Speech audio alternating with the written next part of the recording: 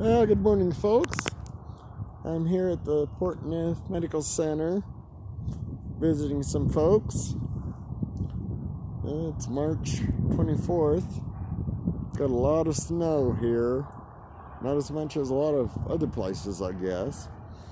Well, I just wanted to check in, say hello.